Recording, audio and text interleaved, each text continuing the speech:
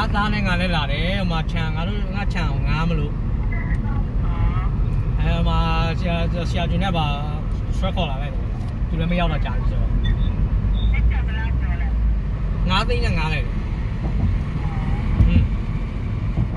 ဟွန်းသူတို့ကသူတို့ကိုယ်တော်ဆောင်းမယ်အဲသူတို့ကသူတို့ဆောင်းမယ်